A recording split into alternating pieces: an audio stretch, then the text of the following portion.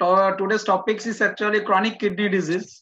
So everything, this language that is chronic, chronic means is irreversible. Majority of the chronic disease that means it is not recoverable to the full extent. That's why it is the chronic. So the chronic kidney disease that means when the GFR is less than 60, it's not actually that the kidney is totally damaged. In the chronic kidney disease definition, the GFR is less than 60 and the that may be the anatomical defect, that may be the pathological defect, that is in the term of the GFR, or an anatomical defect, that is the kidney is sunken. Shrunken kidney is also an important uh, important features of the chronic kidney disease. So now, what is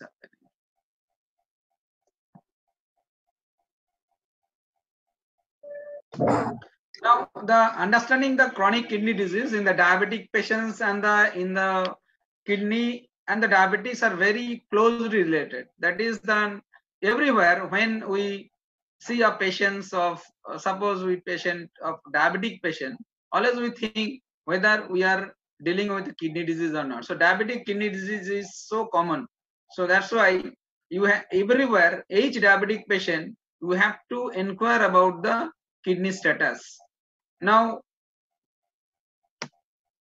now whatever the kidney disease, we have seen so many diseases, so many uh, kidney diseases. Among them, CKD is very common in our college. We have seen that the CKD patients are taking dialysis, and so many patients are taking dialysis.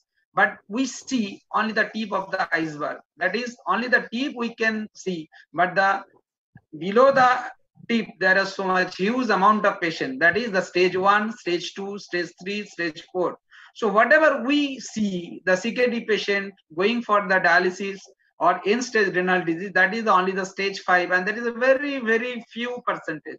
So there are mainly those patients are only mainly the stage 1 2 3 4 so that we will consider the ckd or we will treat the ckd to prevent the development of the stage 5 disease. So the stage 5 disease when comes, that means it is totally gone. So everywhere, nothing is at your hand. So you have to be careful from the stage 1 to stage 4 so that the progression of the disease does not go rapidly up to the stage 5. In the stage 5, nothing is there. In stage renal uh, disease, so ESRD, in that case, the dialysis and the transplantation are the choice and nothing is there nothing to do with the treatment. Now uh, regarding this so this is very important. Again and again the stage 5 the CKD stage 5 is basically is out of our control is not related to the treatment portion. You have nothing no option. But we again and again will consider about the stage 1 to 4 so that we will not reach to the stage 5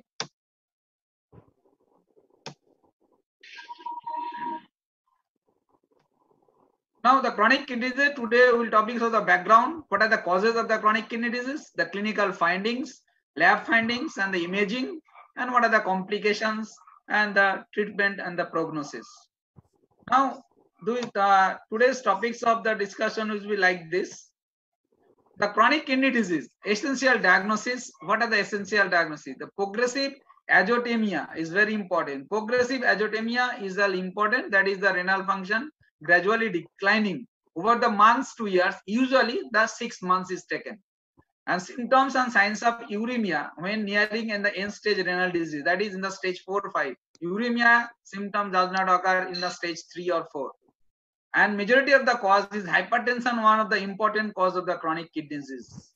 So and by this if the isothenuria isothenuria means the specific gravity of the urine remains 1010. This is for the long run. The concentrating capacity of the kidney is determined by the specific gravity of the urine. That is usually it remains throughout the 1010. That is the concentrating capacity goes up.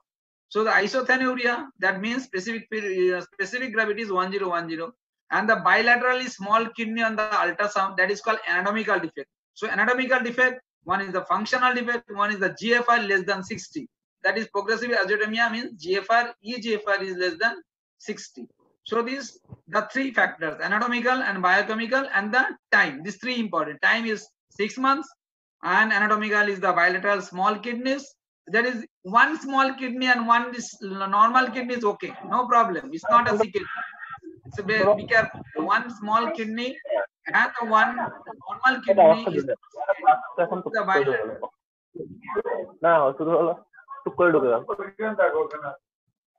okay. Now the stage uh, stage in progression of the chronic kidney disease and therapeutic strategies. so the first is the complication of the what is the important stages. This stage is very important. This point is very important. That is the normal patient where the screening for CKD risk factor should be there. Suppose the patient how to treat a CKD patient? That it starts from the screening of the CKD patient. Patient having a diabetes, patient having hypertension. So that means hypertension, diabetes, they are very much likely to develop the CKD later on. So from this stage, your action starts. That means a normal patient, only with the diabetes, only with the hypertension, or only the other risk factor, family history of the CKD, in that group of patients, family history of the adult polycystic kidney disease, this group of patients having a high risk for the development of the CKD. So the CKD treatment or management starts from this normal patient with a high risk category. So from this screening, and you measure the, take the measurement, uh, measures to prevent the or to control the hypertension, to control the diabe- diabetes, or to control the any other risk factors. Now, so risk factor reduction is very, very important. Now come to the, if the risk factor persists, what happens? That will cause a damage to the kidney. So whether the damage of the kidney has been or done or by the risk factor or not, that's also important. How to judge? This is an early judgment when the patient develops the urea creatinine. So blood urea creatinine is a very late phenomenon. That means EGFR is already is less than 30. That is, is less than is goes up to the stage 4 CKD. But you have to diagnose the CKD in the early stage 1 and 2 or maximum 3 so that we can prevent the progression. So that is the how you detect the damage. So this damage usually detected by the urine REME. If you do just suppose a security, any patient comes whether renal involvement is there or not, you do the urine REME. If the routine urine albumin macroalbuminuria is not there, then you go for the microalbuminuria. So microalbuminuria usually how it is measured. You take a urine sample and go for the urine albumin creatinine ratio. UACR, urine albumin creatinine ratio are measured. The ACR, if the ACR is less than 30 is okay, it's normal. It is more than 30 to 300, that is the microalbuminuria. That is, that is the very beginning of the start of the CKD. Then you have to control this microalbuminuria. Now regarding this point, suppose a patient having a hypertension, patient having a diabetes. So what is the, without any microalbuminuria, that is ACR is less than 30. So damage is not there. What is the treatment of choice in that cases? So anyone? So that is usually any group of drug you can use. Say even CCB, amlodipine, cilnidipine, whatever you can use, diuretics, ACE inhibitor or ARB. Every choice is there. But when the albuminuria is occurs, that is microalbuminuria, ACR is more than 30, in that cases, the AC inhibitors or ARB is the drug of choice. Why? Because this prevents this progression of the disease from damage to the decreased EGFR to the kidney failure and ultimately the CKD and ESRD end stage renal disease. So this is it's important. So diagnosis usually very important. Most important diagnostic method is the urine albumin.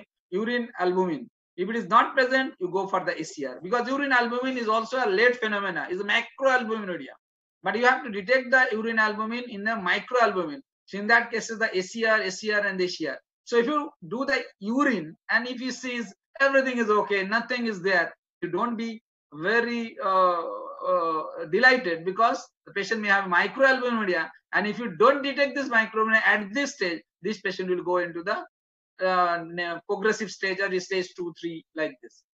So this is important. Now first is the treatment, diagnosis and the treatment of the condition and the comorbid conditions. This is very important. Comorbid conditions, what are the comorbid conditions are there?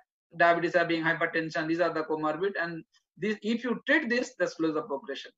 Now, now the patient first is the urine albumin, ACR is there. Then if now you have to calculate the EGFR because based on this EGFR, the classification of the CKD are based on. EGFR usually calculated by Cockcroft-Gault equation, or you can go for the any Android phone, you go for the Play Store, you just search for the EGFR calculator, EGFR calculator will come, you put on the just value of the urea creatinine and age and sex, it will automatically uh, basically tell you the what is the GFR of that patient. Apparently 1.2 1.2 creatinine value may give rise to EGFR less than 50 also. So don't don't look at the creatinine for the prevention. Again and again, I am telling creatinine is a very late phenomenon. If you, you see the creatinine, that means it is already gone. Kidney is already gone. You have to treat the patient before that. Otherwise, the no need. No, you that is the you will uh, lose the golden opportunity to treat the patient to prevent the progression of the disease. Again and again, this is very important. So when the kidney failure, CKD means we often take it, the kidney is totally failure, replacement uh, should be done by dialysis and transplantation. So dialysis and transplantation is an option. But this is the very, very late stage where nothing can be done and ultimately patient will go into the death. And the CKD patient dies of mostly of the cardiovascular disease not of because of the renal failure. This is also an important uh, uh, point to be noted. Now again, definition, again, those who are uh, join later on, for that important structural or functional abnormalities of the kidney for more than three months. Now, usually the it is taken six months. Now the diagnosis has been revised. It says three months is also taken because that six months time is more or, or time more time taken and it may kidney may be damaged further. So there is structural. One is structural, one is functional. The functional EGFR is less than 60. Now with or without kidney damage. If the kidney size is normal, but the EGFR is less than 60 is a CKD. If the kidney damage is there, that is one is the pathological abnormalities, that is the urine is uh, urine protein plus either in the microalbumin or in the macroalbumin or markers of the kidney damage mainly the what are the abnormalities in the composition of the blood or urine or abnormalities in the image. Image means kidney size is small and blood and urine means urea creatinine is high and urine means urine albumin is plus, RBC is plus like this. So these three point is the definition of CKD. Now these are the classification. Why do we need the EGFR calculation? EGFR calculation is very important. So that is the if the EGFR is more than 90, is on stage 1, stage 2 62. It is an actually formula of the 15. Just look at it. 15 less than 15 stage 5. It, double it. 15 to 30 is the stage 4. 30 to 60 is the stage 3. 60 to 90 is the stage 2 and more than 90 is the stage 1. So is the formula of the 15 is just keep on doubling the EGFR and you will get a, a value. Nothing is there. So most important the evaluation the way that at patient, again and again, I'm highlighting this point because this is the most important part of the evaluation, treatment, whatever is the CKD is ultimately is nothing is there. So test for CKD and kidney when the GFR is more than 90.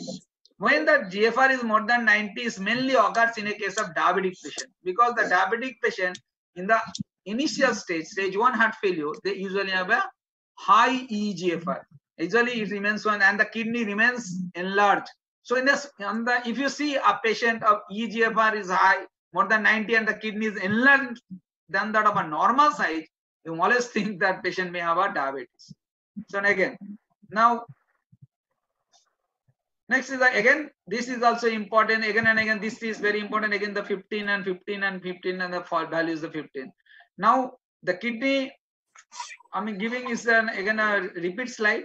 Now that another classification. Now it thinks this is an stage.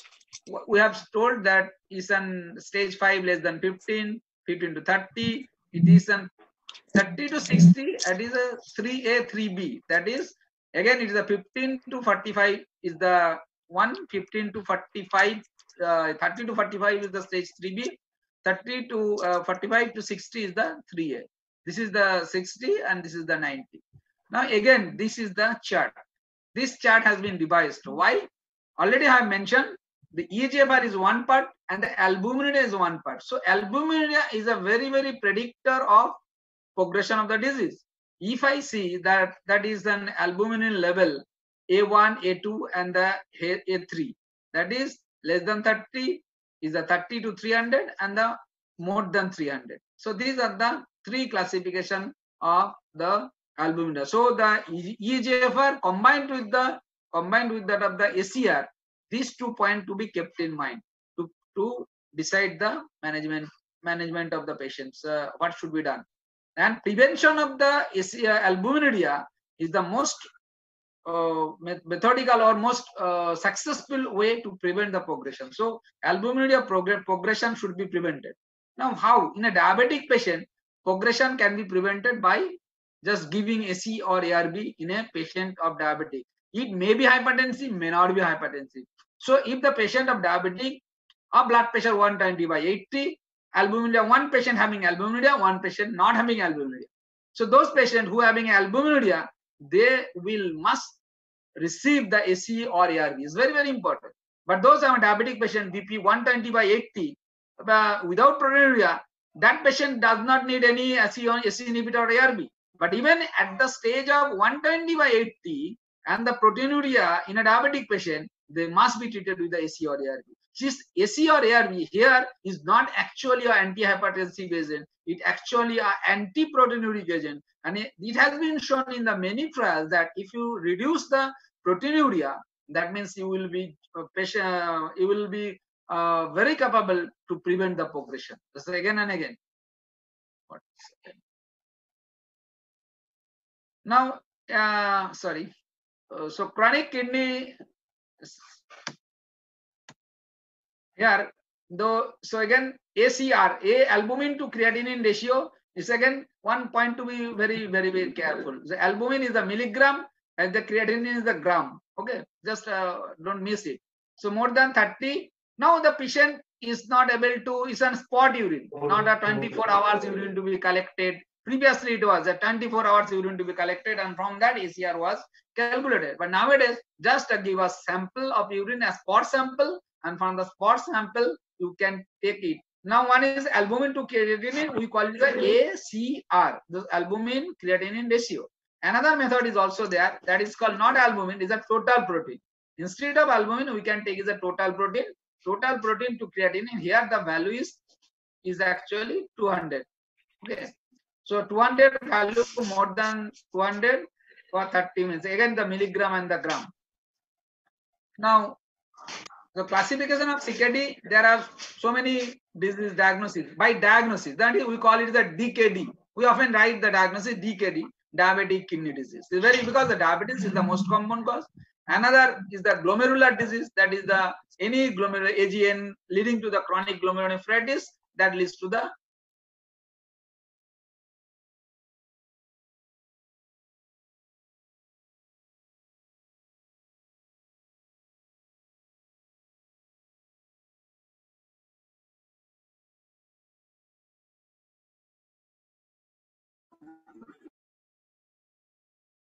uh, stone. One is obstruction, obstruction. Tubulointerstitial is also obstruction. Sorry. Now, okay. Now, cystic disease. One is the polycystic kidney disease. Are you listening? Hmm. Are you hearing my voice? Yes, sir. Sir, Yes, sir. Sir. Yes. Now, uh, the cystic disease. One is another important. One is the diabetes. Must mention, uh, remember the terminology, the diabetic kidney disease, hypertensive kidney disease. One is the interstitial uh, kidney disease, and one is the polycystic kidney disease, PCKD. Polycystic kidney disease is an autoimmune or ad, ad, autoimmune disorder, adult uh, autoimmune dominant disorder, where the basically the multiple cyst occurs in the kidneys, runs in the family. So in the polycystic kidney disease, if you see uh, any patient of polycystic kidney disease, your duty is very, very important duty.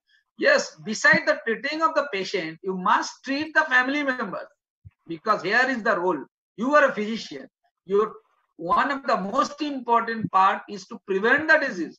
So if a family member having a PCKD by ultrasonography, USG reveals that is a polycystic kidney disease, and he ultimately will develop the CKD or end-stage renal disease, though it's a very slowly progressive. But if you treat the patient or if you uh, uh, if you uh, basically screen the family member, among them, you may see that someone is also having the CKD and you may be very careful about that patient so that the progression can be lower, slowed down even in that asymptomatic cases. So again, so that is very important. Suppose regarding this, the prevention, the family screening is very important. Suppose uh, I'm going to the off the track. Suppose a patient have come with a hepatitis B, H, HBsAg positive. Now HBs positive patient has come to you. Yes, you have given a treatment, whatever is method of treatment you have given. But your treatment, you uh, your responsibility does not goes. You must tell that you must all the basically uh, basically bloodborne infection, blood uh, related infection. So you must check the hepatitis B for all the family members because if you if you check and screen the family member, there someone may be the positive and you may have a close uh, follow-up of that group. So if you don't suppose you're uh, the man having a hepatitis B positive and you have not you have not asked for the family for screen. Suppose the, the spouse or female or the wife of that man was hepatitis B at that time negative, but you have not advised for hepatitis B. Now, after some time, the uh, spouse may be affected because of your is one type of uh, your ignorance. So, if I, so what should I do? We screen for the hepatitis B of the family members. Those who are negative will vaccinate to prevent the affection of the hepatitis B. So clear it.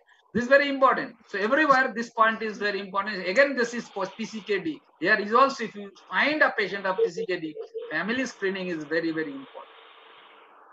Now, chronic kidney disease definition is given again and again. Now, the here the if you only one stage one, what is the BP may be high or may not be high. So the as the stage progresses, then now BP plus minus, BP plus minus.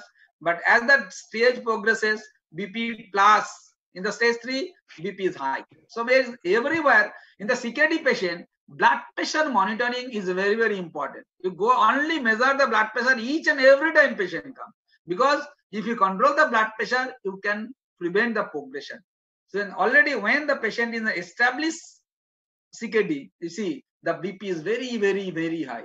And in at this stage, it is very difficult to control the blood pressure. Usually, we take the help of three or four multiple drugs. Among them, one most important is the CCB is very important. In the stage five, we are telling about the ACE, ACE or ARB is very, very important up to the stage four, but not in the stage five. When it is stage five, nothing is required. Even the ACE or ARB will not be helpful. So here is only the alpha blocker or calcium channel blocker. That is the, the XL or calcium channel blocker amlodipine are the best choice. Here ACE or ARB is actually contraindicated in this stage. So that is, is preventive, preventive, preventive, but not in the last stage. Is only the up to the stage of four. So five means already everything is gone again and again. So now chronic kidney disease is an um, so and among the chronic kidney disease, one point I mentioned, uh, forget to mention about the, you must, don't forget about the SLE, SLE and SLE. SLE is also a very, very important cause of the chronic kidney disease. So now, if you do the lab test, already mentioned urea creatinine elevated is very, very rare, late phenomena. GFR is important. Persistent proteinuria, again and again. So ACR is more than 30. Even in a, just as a patient comes to you, ACR is more than 30 uh, you stamped it in case of CKD in the stage one, stage two.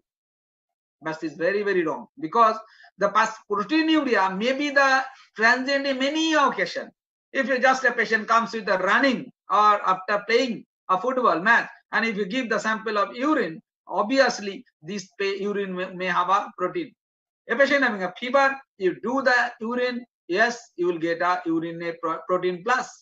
So this is not a one-time proteinuria is not a, uh, we call it is not a CKD feature. It must be persistent. At least two to three sample must be positive for the protein to stamp it as a case of persistent proteinuria or as a case of is an early stage of the CKD. So the only one value is not important. And if a chronic kidney disease a late phenomena is the hyaline cast is the very, very important or waxy cast, broad cast are evidence of the tubular concentrating ability is the loss. So tubular concentrating capacity. One is kidney as a uh, major function of the concentrating capacity and excreting capacity. So the excreting capacity when the lost, that the urea creatinine rises and the and the albuminuria is also is basically when the concentrating capacity is lost, then the cast are present. So the broadcast, waxy cast, and the hyaline cast. So now what are the other points? We often see the patient, the patient having anemia. Anemia, anemia is very important. It may be metabolic acidosis because the, all the acids, metabolic acids are not not excreted through the kidney, it gets accumulated. And phosphate, also hyperphosphatemia, hypocalcemia, and very, very important is the hyperkalemia, hyperkalemia, because this is very dangerous, notorious for the heart, and it causes any uh, degree of the arrhythmia, and patient dies of all of a sudden, very all of a sudden patient dies.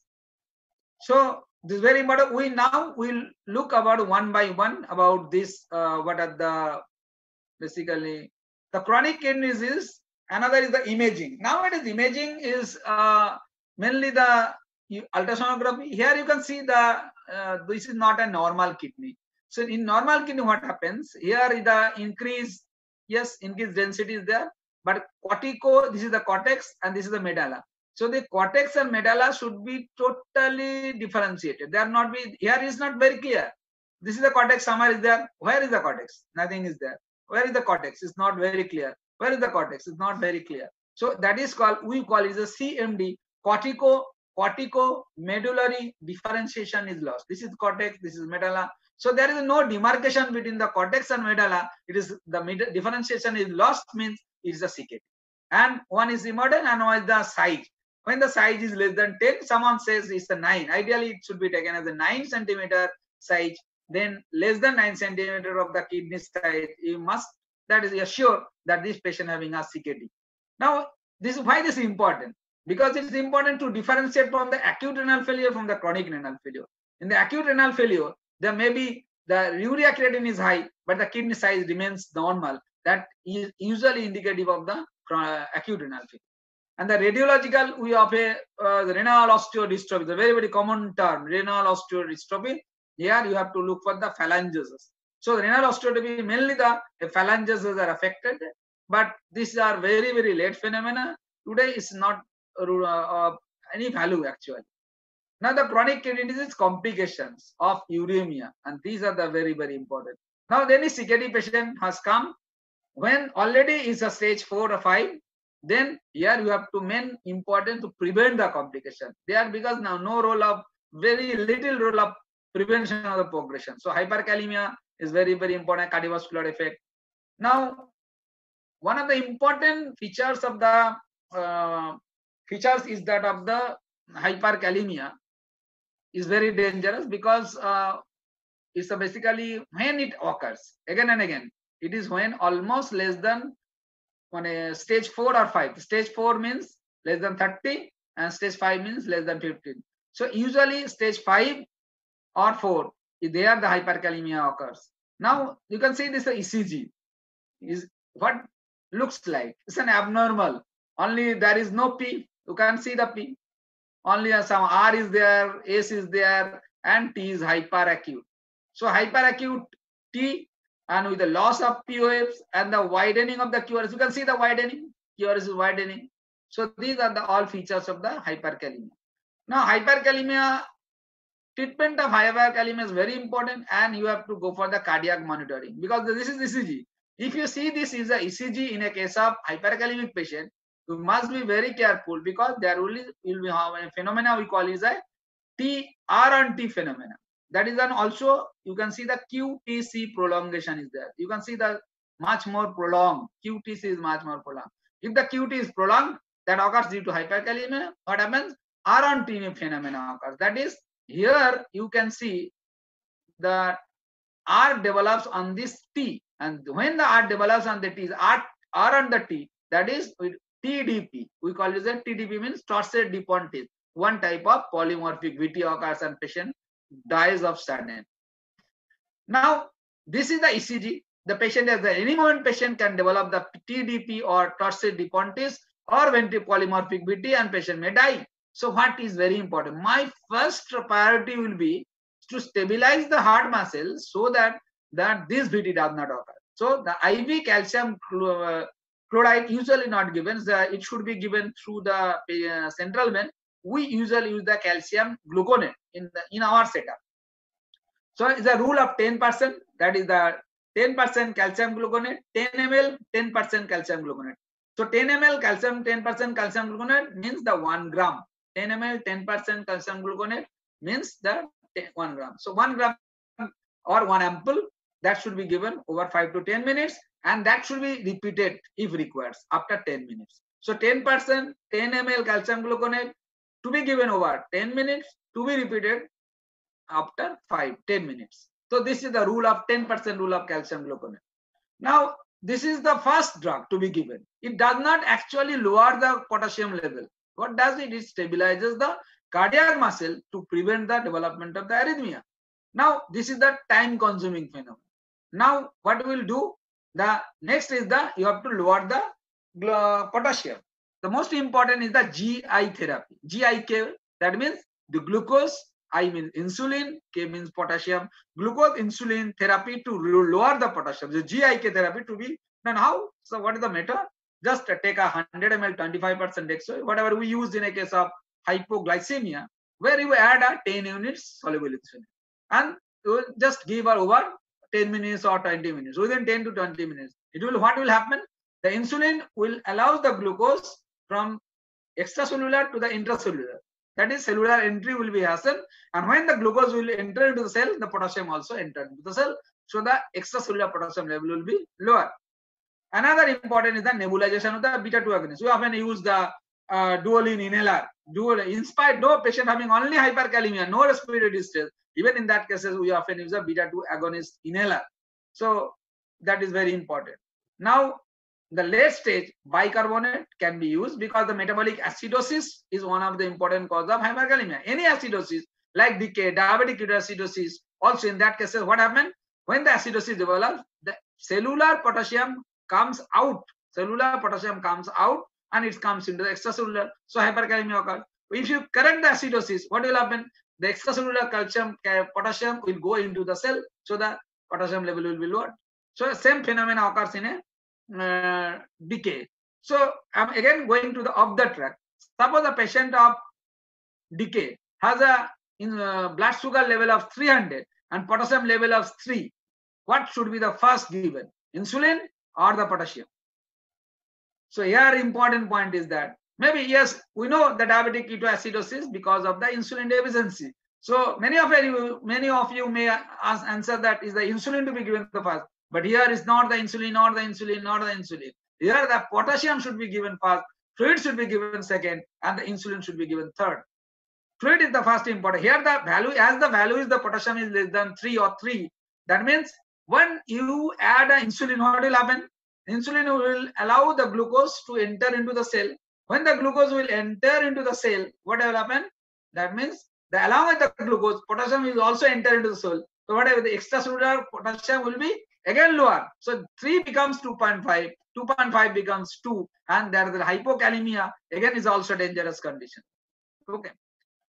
Now another important, as there is an excretory function is uh, defective, and if the kidney is not so much damaged, so in that case, a loop diuretics, that is furosemide is the drug of choice, also one of the drug.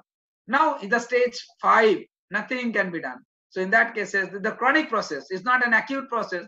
In that case, potassium binder, K bind, we call this a normally K bind, potassium bind, is actually a sodium polystyrene sulfonate can be used parectally or in the orally. If you parectally use the parectally or uh, orally, orally with the sorbitol. Very, very bad test so it must be combined with the sorbitol. And chronic hyperkalemia, like that of the CKD patient, here is the only treatment is the dialysis, hemodialysis, hemodialysis, and the hemodialysis. And you must, hyperkalemia is there, that is dietary potassium restriction should be, must be there. And in the chronic cases, sodium polystyrene sulfonate, that is the K-bind is another option.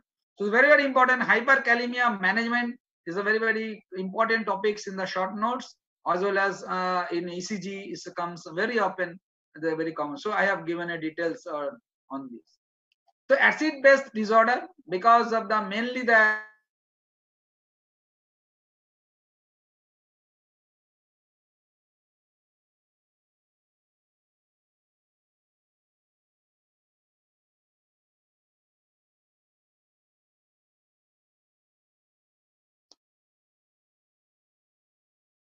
bicarbonate.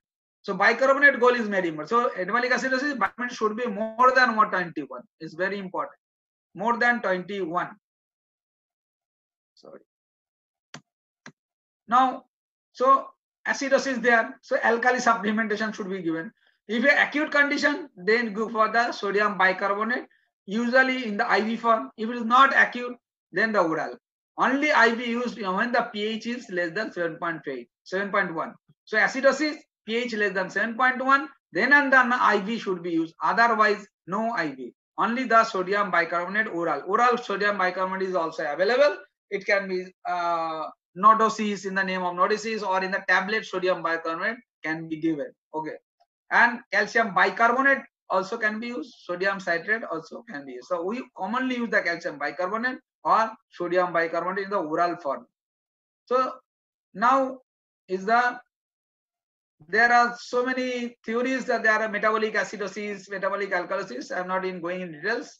Uh, now, to whether metabolic acidosis or metabolic alkalosis may be combined or maybe metabolic acidosis along with the respiratory acidosis, maybe respiratory alkalosis, there may be combined. Whether that is that there are four types of acidosis, two acidosis, metabolic acidosis and respiratory acidosis, two alkalosis, metabolic alkalosis and respiratory alkalosis. So one factor may be prevailing or there may be combined. Whether the many uh, metabolic acidosis, suppose metabolic acidosis and metabolic alkalosis are combined. So whether they are combined or any, to know this, the delta anion gap is required again and again. We have to calculate the delta anion gap. That is usually anion gap means, anion gap means uh, the sodium plus sodium minus bicarbonate. Sodium plus potassium minus bicarbonate is the anion gap is 10 to 12. But when the delta anion gap means the calculated anion gap minus 10 and delta bicarbonate means delta bicarbonate the measured bicarbonate minus 25. And if the value is more than 1, that combined anion gap acidosis is there. That is associated metabolic alkalosis is there. Uh, you may not go in details, but that again and again, if you want to know, there is only one acidosis or alkalosis there, or there is a combination of that. So to know is the delta anion gap is very, very important. If it is value is uh, near about zero, uh, if it is more than one, less than one, again, reason combination is there. So just only to keep the mind, the delta anion gap helps us to whether there is combined acidosis, alkalosis there or not. So this is the now management of the hypertension is very, very important. Most common complication of the ESRD and salt intake is very, very important. Weight loss is also important. Already patient, majority of the patient having weight loss is there. But if it is not weight loss there, then weight loss should be advised. Tobacco cessation to be uh, important. Salt, salt usually we take it 5 gram per day is normally allowed. But in a hypertensive patient, it is 2 gram. It's an, irrespective of the CKD. So initial therapy again and again, if stage one to four, ACE, ACE inhibitor or the angiotensin 2 receptor blocker, ARB is very, very important.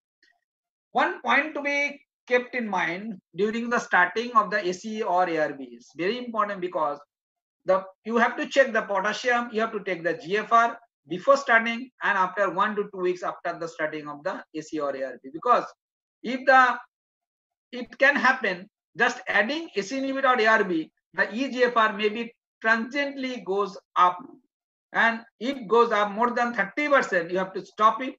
And, and again, you can start with the lower dose later on. But if it is rising less than 30% EGFR, then you can jolly well continue. It will be come down normally. It's very important. And ACE or ARB it causes hyperkalemia. The CKD patient, there is always chance of hyperkalemia because because of the renal excretion is poor itself, we are using the drug ACE or ARB that is also causes hyperkalemia. So that's why potassium level to be checked. And if the potassium level is more than 5.5, then you should stop the inhibitor or ARB or reduce the dose of inhibitor. Regarding this, again and again, we talked or told about you the diuretic is the loop diuretic or even thiazide diuretic, but the potassium sparing diuretic is contraindicated in a case of CKD because again, the potassium sparing diuretic causes the rise of the potassium. So here the potassium is already high majority of the cases. Now the goal of the hypertension. Majority of the now goal is 140 by 90, 140 by 90. But the goal is 130 by 80 if it is possible without any adverse effect is the ideal. And if the proteinuria is there, then the goal is even lower 125 by 75. Whatever, why? Now already mentioned that if the proteinuria is there, I told you in the initial for the early part of my lecture that suppose the diabetic patient a BP 120 by 80 so 120 by 80 BP means that the, in that case of patient also will advise ACE or ARB. Why? Because this ACE or ARB will actually lower the proteinuria as well as it will also lower the blood pressure. So in that cases 120 by 125 by 75 can be tolerated in that cases. Okay. So otherwise 130 by 80. But when the patient is on dialysis or end stage renal disease, this you must not lower the blood pressure less than 140 by 90 because is that 140 90 is the basically a target value. Because if you lower the blood pressure then after dialysis this patient will develop the hypovolemic shock or shock low blood pressure. Now the treatment already mentioned ccb amlodipine amlodipine or cilnidipine whatever beta blocker is the choice also an important issue. Alpha blocker that is the prazosin and if it is not even the control with the alpha blocker then clonidine is also used. And the diuretics, the usually the thiazide type diuretic is used when the EGFR is more than 30. And if EGFR is less than 30, then the loop diuretics. So loop diuretic is only is the option if the EGFR is less than 30. So this is the control of hypertension. Now, Chronic kidney disease, the cardiovascular complication is a very important cardiovascular and one pericarditis, pericarditis, and pericarditis. We often it is called the uremic pericarditis because uremia is the cause of the pericarditis. And this is metabolic toxin related, that is mainly the uremia. Uh, so here the pericarditis leading to the chest pain uh, is very important. Chest pain is sorry. Chest pain is there and pericarditis is an absolute indication for the initiation of the hemodialysis. So if the patient develops the pericarditis, uremic pericarditis, so you have to go for the dialysis. So what happened? Now, the, what are the other complication of the cardiovascular rhythm? One is the heart failure. Already mentioned that is the CKD patient dies of the heart failure. So patient with the ESRD tend to tends towards a high cardiac output. Either show that may volume overload because of the edema condition, shunting of blood through the AV fistula. One is the anemia is also there, hypertension is there, so this all leading to the increased myocardial oxygen, myocardial work and oxygen demand. As well as there is an atherosclerosis, increased atherosclerosis. So all lead to the development of the LVH and LV dilatation, LV hypertrophy and LV dilatation. So this lead to the ultimately heart failure. Now what if it is stage 5, you should not use the ACE inhibitor or ARB, but otherwise in that case ACE or ARB or the ARNI can be used. But again and again in the CKD patient, you during use of the CRB or ARNI, you must be careful about the potassium level and the EGFR level. A regulation of the salt and water, salt and water restriction. Water should be usually one liter, not more than one liter. Salt should be less than two gram.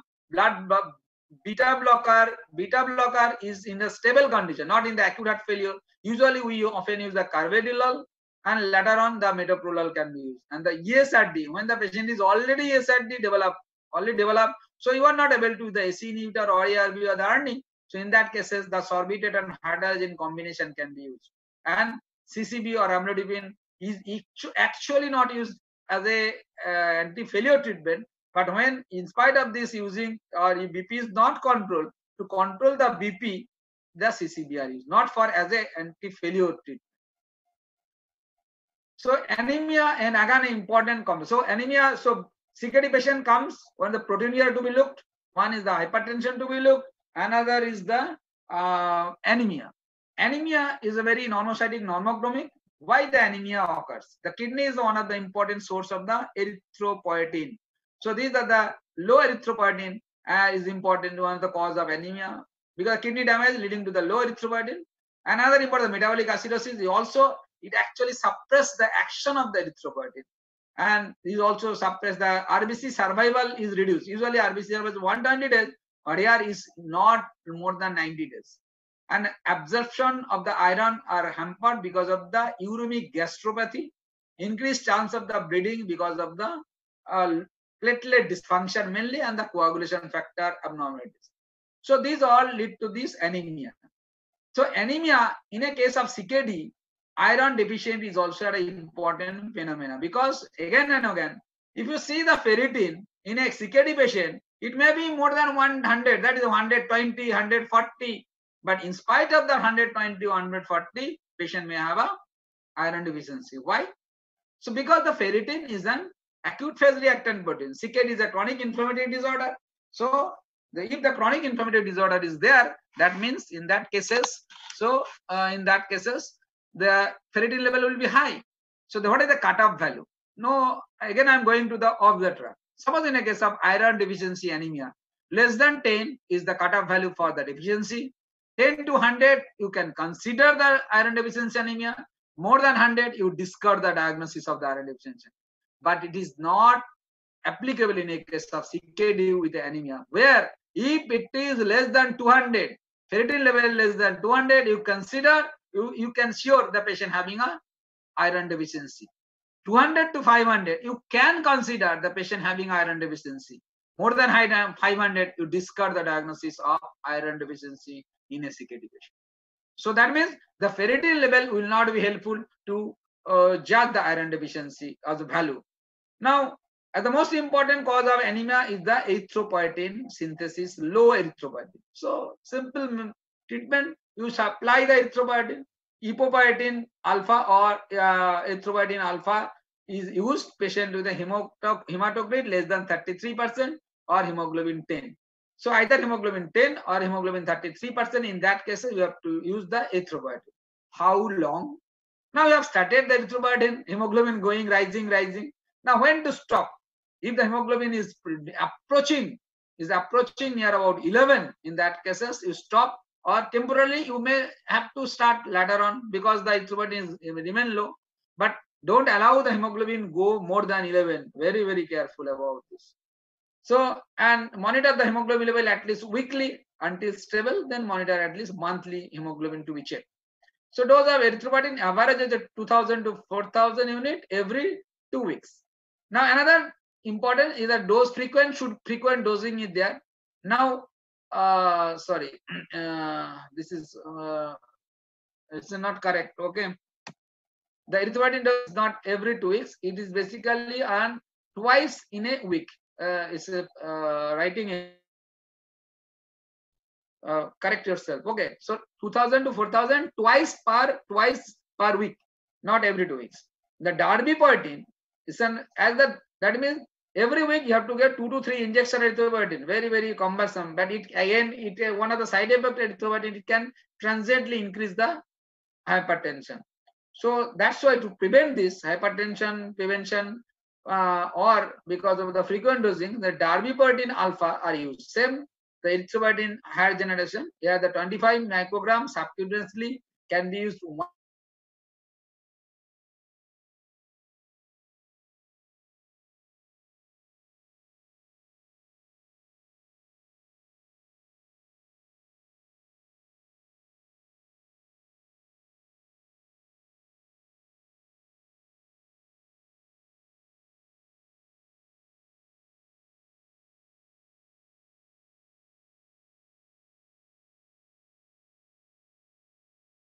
So that means iron supplementation parenteral is very important because the oral iron may not be so effective because of the less absorption, because of gastric congestion or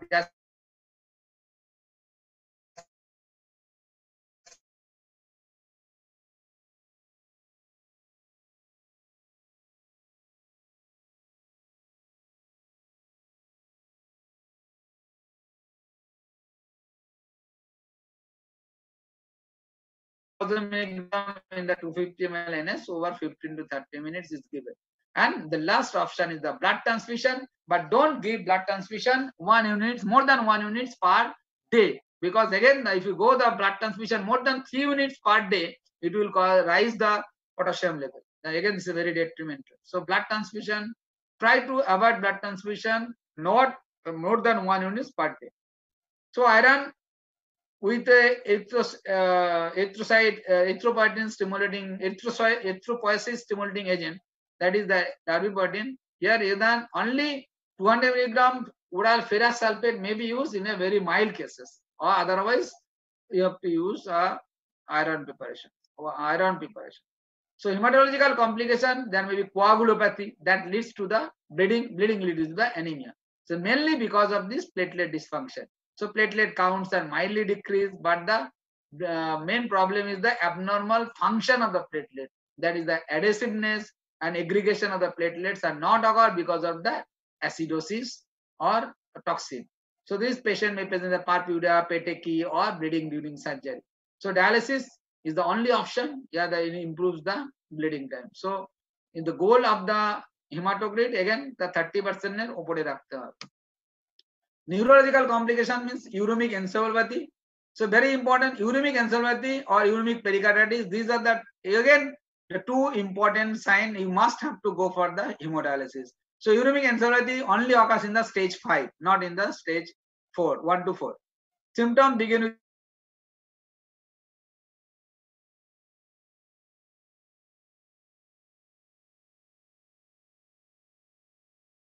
neuropathy is also named uremic encephalopathy, uremic neuropathy occurs. And earlier initiation of dialysis may prevent this peripheral. So only the dialysis is the important uh, choice when that neurological point of view. No vitamin B1, B6, B12 will be helpful at the stage. So neuro neuropathy or uremic encephalopathy are the last complication.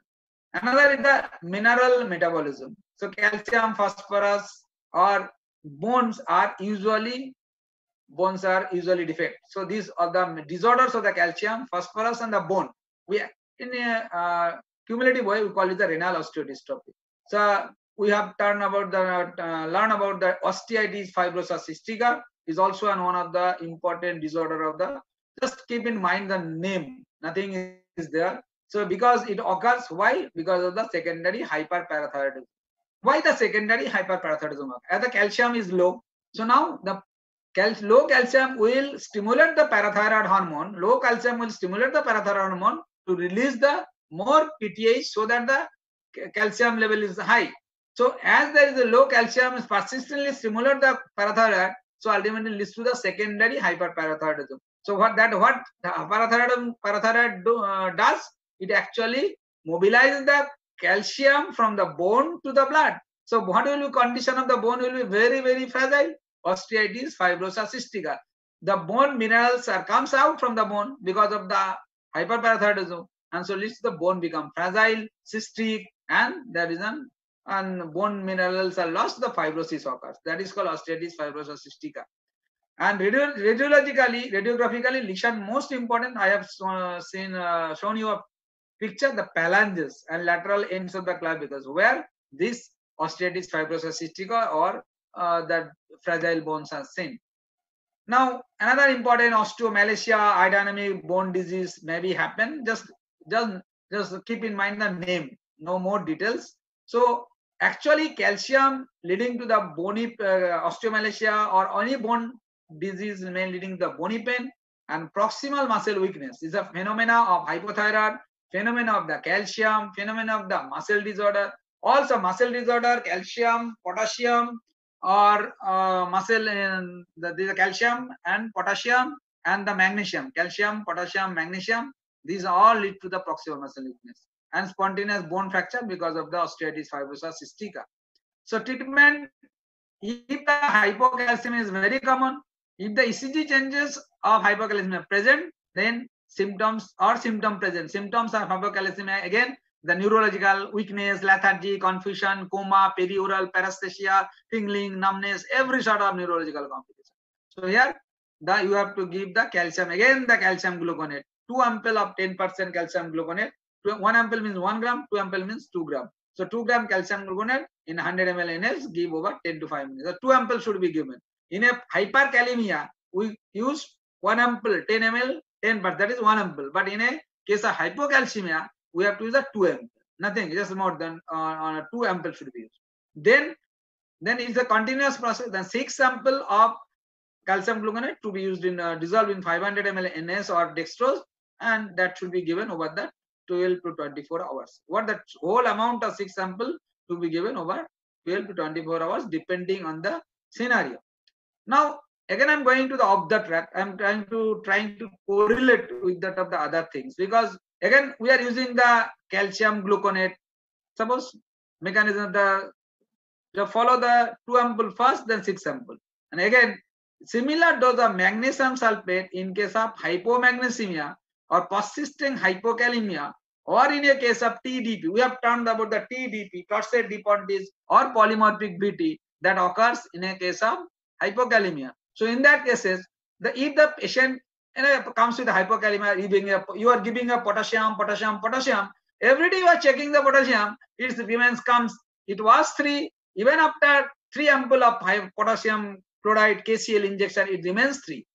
You may ask, yeah, laboratory का ये बात तो छोड़ो laboratory तो भूल भाल report दिच्छे सब बाजे कथा हाँ so this is not a very बाजे कथा that means the hypokalemia is persisting in spite of the therapy that means this will again strike your mind that I am dealing a case of hypokalemia with hypomagnesemia. So this is the scenario. When the hypokalemia is not being corrected with the proper use of the KCl, then you must think the hypokalemia, hypomagnesemia is there. So you can check for magnesium or even if, if this situation arises, then you must give a um, arbitrarily magnesium sulfate injection. So magnesium sulfate injections are given in a case of hypo, proved case of hypomagnesemia, persisting hypokalemia in spite of the proper KCl therapy, TDP or the VT, TDP leading to the VT. So these are the conditions where magnesium are used. And in spite, uh, if you go for another condition, is the eclampsia. But otherwise, the medical point of view, these are the conditions. Otherwise, magnesium. So the rule is same. Here, the two ample of magnesium should be given, like that of the calcium gluconate in a case of hypocalcemia, and the six sample of calcium, six sample of the magnesium sulfate uh, injection, uh, six samples to be again given over 12 to 24 hours. So that this is that as it is same dose of administration is also same. That's why I have given. Uh, I have basically mentioned here. So mineral metabolism, dietary phosphate, hyperphosphatemia is very important. So phosphate restriction there. We often use the phosphate binder. So what are the phosphate binder? One is the calcium carbonate. The calcium carbonate will give a calcium and this carbonate is equally bicarbonate binds with the phosphate. The phosphate bicarbonate or phosphate carbonate. So that means it's a uh, it's an insoluble complex. So that is the phosphate level will be lower. So by using the calcium carbonate, we can correct the calcium, we can correct the phosphate also because this carbonate combines with that of the phosphate. Now, if we see that the I am not uh, my calcium level, uh, my patient having a calcium level normal. So if you give a calcium, that will lead to the hypercalcemia. Again, a problem. So in that non-calcium based phosphate binder, we use a sevelamer carbonate. Sevelamer carbonate. So sevelamer carbonate, a carbonate will bind with the phosphate and it will lower the phosphorus, but not the calcium will not be changed. So in that case, a normal calcium with a hyperphosphatemia, so sevelamer carbonate are used. Now, as the vitamin hypocalcium is there, so vitamin D can be used, but here the kidney is already damaged. So the 125 hydroxylation of vitamin D3 occurs in the kidney, and this is the active form of the vitamin D. So 125 hydroxylation, 25 hydroxylation occurs in the liver, it will occur. But what will happen? The one hydroxylation, the one hydroxylation is the important site is the kidney. The kidney is damaged. So one alpha hydroxylation of the vitamin D3 will not happen. So 125 DHCC or vitamin D3 will not be formed. Active vitamin D will not be formed. So the patient is actually vitamin D3 deficiency because of the active form is not there. If you give only vitamin D3, it will not be sufficient. So you have to give a alpha D3 or 1 alpha 25 D3. You call it the alpha because already alpha hydroxylation is there. Active form of vitamin should be given. Here the dose is usually 0.25 microgram. Now, what happens if the hypocalcemia persists? Then hypocalcemia give a signal, negative signal to the parathyroid. There's I am having a low concentration. Please, you get activated. Parathyroid will activate it and it will bring the calcium from the bone to the blood. So that means if this is continuously happen, the bone disease will happen. So uh, fibrositis, osteitis, fibrosis, uh, fibrosis cystica will develop. Adynamic bone disease may be there. So in that cases, that you have to first the correct the calcium. So calcitriol is option. Another option is that, that if I use a calcium sensing blocker, that is called cinacalcet. The name of this compound is cinacalcet. Did actually prevent the sensing of the parathyroid up to the calcium. That is the low calcium will go to the give a signal to the parathyroid. Then I'm in low, but the this this actually occurs through a receptor. This cinacalcet actually blocks that receptor so that the PTH is not get activated. So the hyperparathyroidism does not occur. So bone disease does not occur. So there is also very important. And here the calcium, uh, so in that in cases, sevelamer also an important use. So usually sevelamer, dose of sevelamer is 400 to 800 milligram per meal with the meal and you can increase the dose. 400 milligram TDS is the maximum. 400 to 800 milligram TDS is the dose and that should be taken with the meal. Now cinacalcet is again it's a very important uh, 30 milligram, very costly. It mainly uh, indicated for the treatment of hypercalcemia in a patient with parathyroid carcinoma or in the chronic kidney disease. But the cost is very very important. How it acts is then is a calcimimetic agent that decrease the level of parathyroid hormone. That is calcium calcimimetic. Means the, as the cinacalcet, this cinacalcet binds with the, the parathyroid receptor, that is, yes, I'm calcium is there. I'm calcium mimetic. That is, I'm calcium. I'm sufficient amount of calcium is there. You don't worry about this, and the parathyroid will not be released. So cinacalcet is mainly to prevent the hyperparathyroidism in the kidney disease. So hyperphosphatemia when it is more than 4.5, the phosphorus. Now the phosphorus one point you can measure the urine phosphorus. It is more than 1500 milligram per day. That is the increase. Intake is there. So you reduce the intake. If it is than 150 1500 milligram that is because of the renal failure. And there are so many pth is also important. All pth related phenomena is mainly all pth related phenomena causes the hyperphosphatemia. Here the treatment is only saline diuresis give a saline diuresis and with uh, that of the acetazolamide diuretic. Phosphate binder is also an option. And the last option everywhere of the CKD management dialysis is the option and endocrine disorder you know, the CKD patient often comes, a patient of diabetic, very well controlled, all of a sudden comes with you or features of hypoglycemia, symptoms suggestive of hypoglycemia. The you have treated the patient and you have discharged the patient, but you are very wrong to that group, that that patient. Why?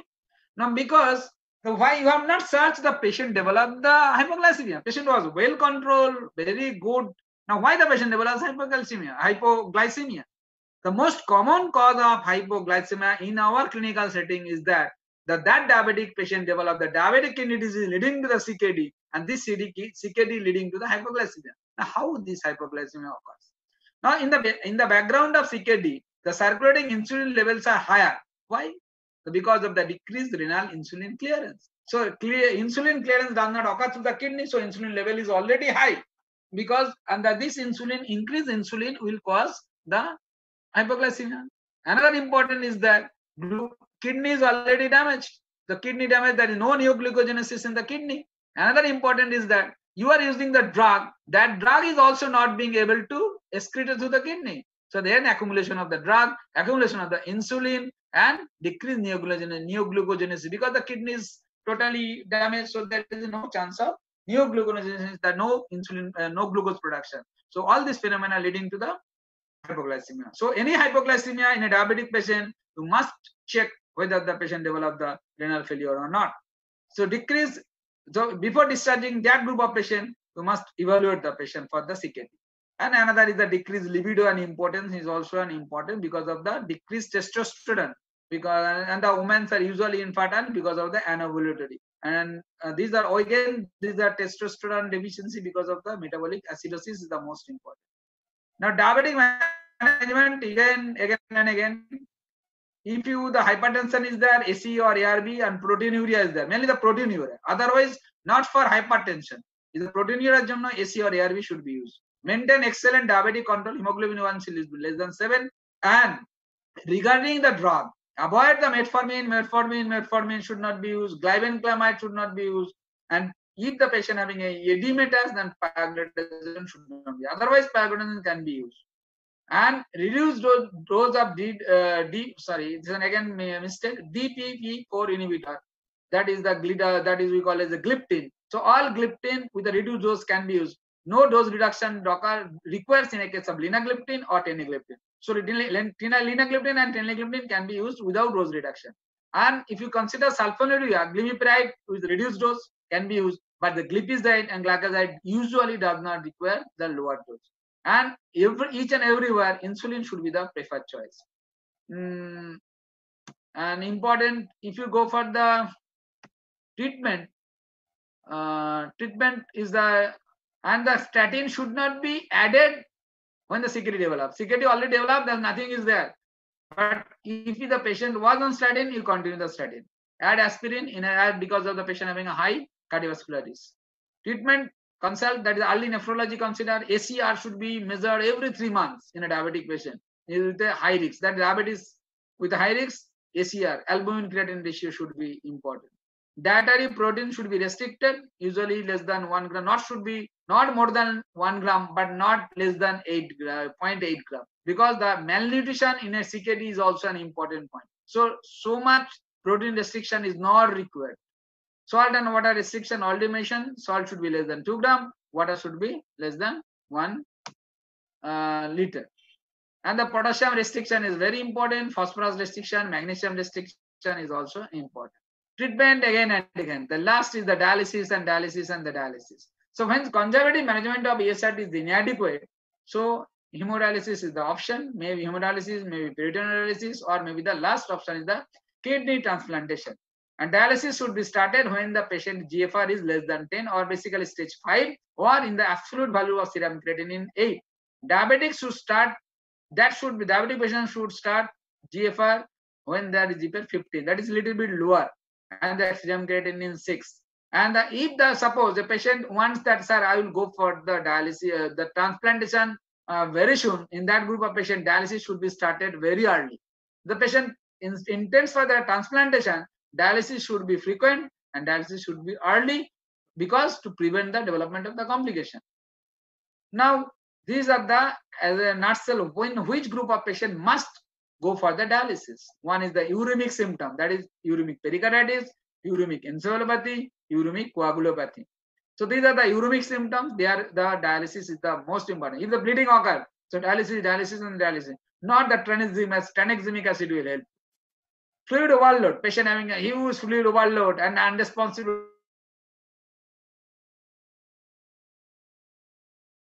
this is the indication. Refractory hyperkalemia. Hyperkalemia treatment has been given with that of the GIK, uh, nebulization, bicarbonate, but everywhere it is not effective. Then, in spite of that bicarbonate, hyperkalemia is the seven that you go for the hemodialysis. That is severe metabolic acidosis, that is pH 7.2 less than 2, that is you have to go for the dialysis. And the neurologic symptoms, that is seizure, neuropathy, or already the uremic encephalopathy.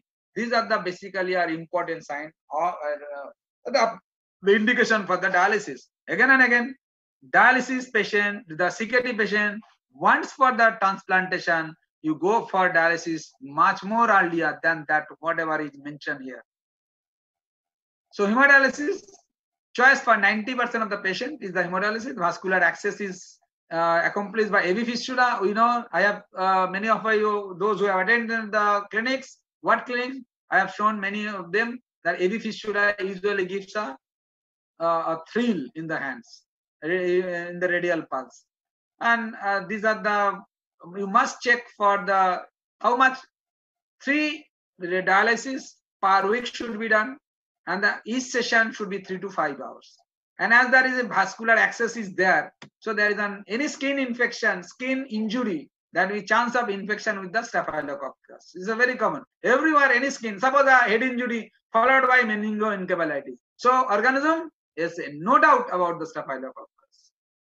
And now the hemodialysis, before hemodialysis, you must have to do the serology, HIV, hepatitis B, hepatitis C, sodium, potassium, and these are routine for the CKD, urea, creatinine. This must be checked. And ensure patient getting regular lab to include PTH, alkaline phosphatase, calcium, and the potassium because to, to know about the bone disease, this is or not. So these are the chronic kidney hemodialysis, how it is done in the hand. The AV fistula, the synthetic materials are put from the art, artery, radial artery to the the vein, and this is the connection. One goes to the dialysis machine, and one uh, basically one goes to the two dialysis machine, and this the blood from this side through the, the artificial uh, tube go to the dialysis machine, and the dialysis machine, the after filtering, it, the, it goes again into the vein. So this is the basic theory of hemodialysis. Here you can see this is the dialyzer machine. Is the patient. The patient from blood here patient blood comes out. Now how the patient easily comes? Here usually a, a, a pump is there. It's only pump. It pumps the blood again into the dialyzer machine. Here is the dialyzer machine. Here is the dialysis machine is the filtration occurs, and after filtration, the uh, the blood again comes basically uh, through this, and again here the pump is there to pump the blood into the vein, and uh, this the another tube is actually there the filtered water. This is actually collected in the bladder.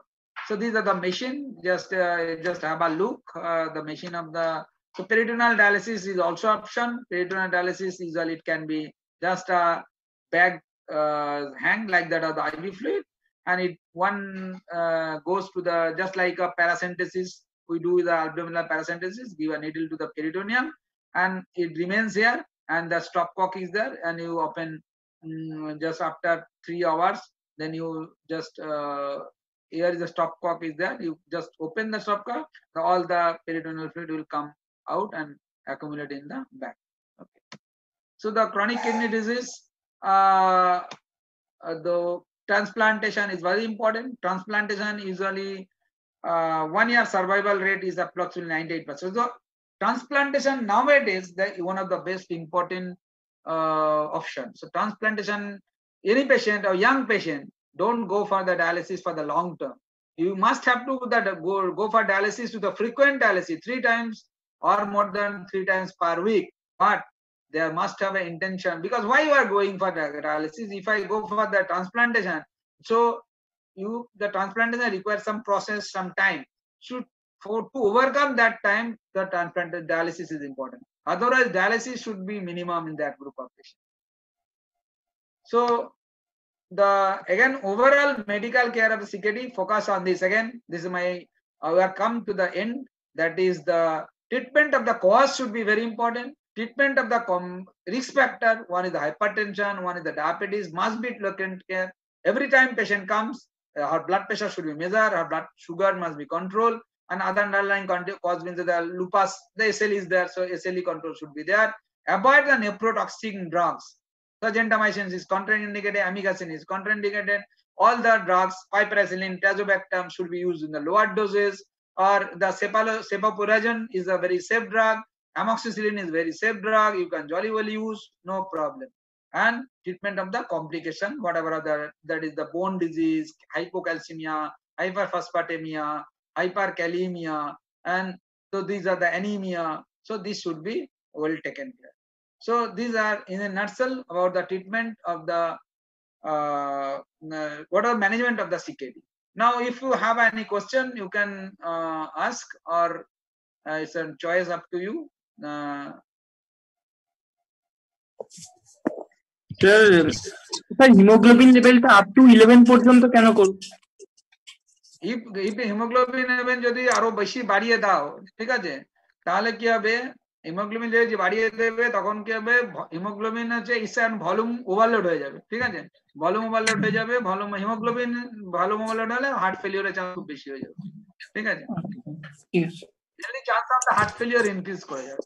R erythropoietin itself is an drug it increases the blood pressure দেখেন? So if you continuously we do not need the haemoglobin more than one normally hemoglobin even 11 is very important. So we do not need more of it. It's a normal. And if you go on increasing the hemoglobin the erythropoietin dose will be high there is a high load will be on the cardiovascular system. Acha okay.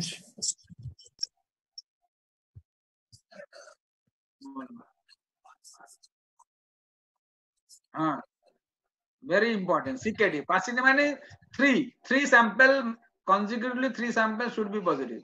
That is call persistent. Because বললাম যে, জ্বর হলেও কিন্তু protein হবে, খুব খেলাধুলো করে এসছো, তাহলেও লাফালাফি করে এসছো, তাহলেও প্রোটিন হবে। কেন ইউরিন একটা ইনফেকশন হয়েছে, তাহলেও প্রোটিন হবে, ঠিক আছে? সো এগুলো আগে ধরো প্রোটিন কারেক্ট করে নিলে, এই ইনফেকশন কারেক্ট করে নিলে, তারপরেও দেখছ প্রোটিন পারসিস্ট করছে, তখন সেটা ভাবতে হবে, না we are dealing with case of security মানে কিছু কিছু ক্ষেত্রে নর্মাল পাওয়া যায়, এগুলো আবার চলে যাবে ট্রানজিয়েন্ট প্রোটিন পাওয়া যায়।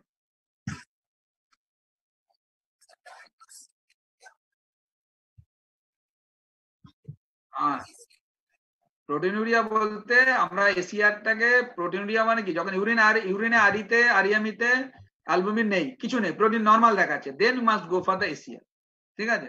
অলরেডি যদি প্রোটিন তোমাকে এসিআর দেখা যায় ইউরিনে অ্যালবুমিন প্রোটিন প্লাস দেখাচ্ছে that means you are in the macroviolent stage no need to for ACR ACR করতে পারো ফর দ্য তোমার এই সুবিধার জন্য যে আগে এসিআর কত ছিল ট্রিটমেন্টে পরে কত হলো, তাই জন্য করবে, কিন্তু অ্যাজ সাচ তোমার দরকার পড়বে না। তুমি অ্যালবুমিন মানে প্রোটিন পেয়ে গেছে ইউরিনে মানে ইস অলরেডি ম্যাক্রোঅ্যালবুমিনিক স্টেজে চলে গেছে। তোমাকে ট্রিটমেন্ট স্টার্ট করতে হবে ঠিক আছে? কিন্তু কারণ কোন ক্ষেত্রে বললাম? ধরো ডায়াবেটিক হাইপারটেনসিভ তার ইউরিন নর্মাল দেখাচ্ছে, তখন এসিআর করাটা জরুরি এই কারণে। কারণ এসিআর থাকলে তখন দেখা যাবে যে এসিআর এ দেখা গেল পজিটিভ দেখাচ্ছে মোর দ্যান থার্টি দেখাচ্ছে। মোর দ্যান থার্টি দেখালে তোমাকে ট্রিটমেন্ট স্টার্ট করতে হবে। তো ট্রিটমেন্টের মধ্যে মোস্ট ইম্পর্টেন্ট হচ্ছে ডায়াবেটিক কন্ট্রোল হাইপারটেনশন কন্ট্রোল তো রয়েছেই। Irrespective of the, on the risk factor control তার সঙ্গে AC or ARB is an important point ওখানে এসি অর এআরবি টাকে দিতে হবে। তার মানে এখানে এসি আর এনআরবি দিলে এক্সট্রা বেনিফিট পাওয়া যাবে বাট আমি অন্য কিছু ইউজ করতে পারি। আমি তোমার মানে সিসিবিও ইউজ করতে পারি অ্যাজ এ হাইপার টেনশনের জন্য, ঠিক আছে? কিন্তু AC AC must be there AC or ARB R AC or ARB কখনো কম্বাইন করা যায় না, এটা বারবার মনে রাখবে। কখনো দুজনকে কম্বাইন করা যাবে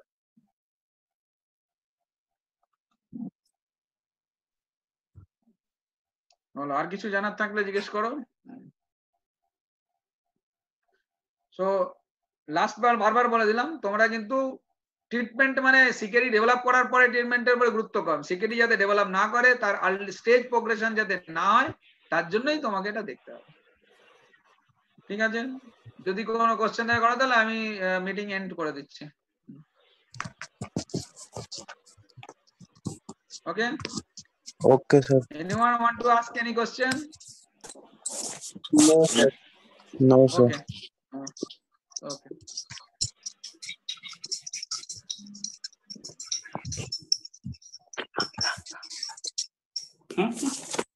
Good night. Good night to all of you.